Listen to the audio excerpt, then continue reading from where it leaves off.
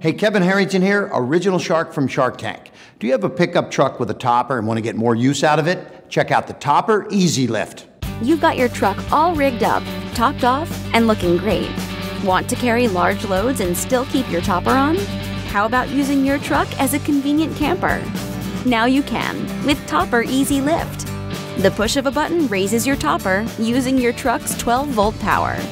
The contractor camper package is ideal for longer box beds, while the weekender uses your tailgate to give you more space. Both allow easy side access. Versatility is the main feature.